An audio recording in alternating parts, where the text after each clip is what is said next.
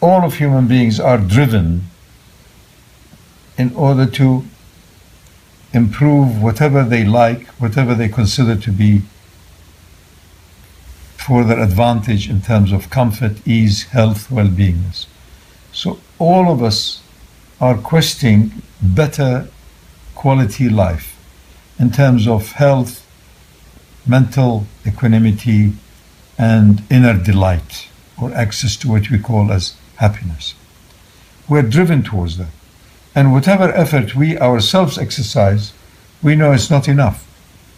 Because sometimes it coincides with a cycle that gives it gives us experience better destiny, some other times is not. So we we are always subconsciously concerned about a higher power, the source of it all, God, that decrees it all, that uh, the ultimate source from which I end up experiencing my present state. So I, I'm appealing to higher consciousness, to that zone of supreme, if you like, light and knowledge, to illumine my path, to guide me towards avoiding wrong actions, going for appropriate actions, so as I end up less flustered. I want to avoid pain. One of the biggest drives towards higher consciousness and awakening is pain. We're all programmed wanting ease, comfort, and so on, and avoid pain and displeasure. We want pleasure. Pleasure implies a relaxed state of ease, reasonably healthy body, clear mind, and access to the light directly of that which is always in bliss, which is my soul.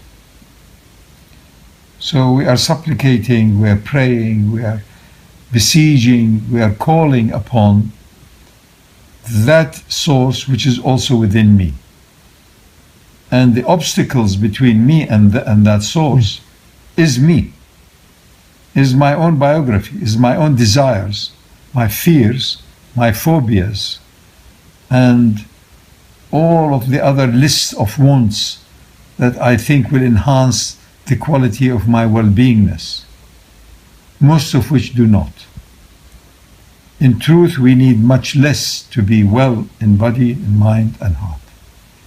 But the drive we are all collectively nowadays have in the world is towards more is better. It is unipolar.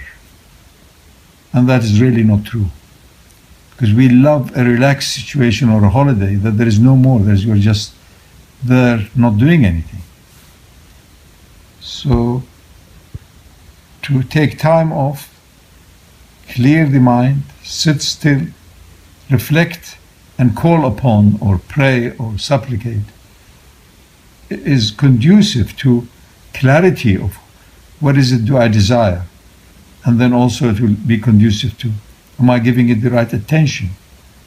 What is my real intention? And so on and so on.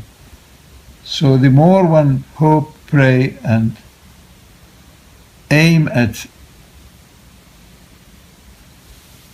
touching upon higher consciousness, I think the easier and the better our path will be.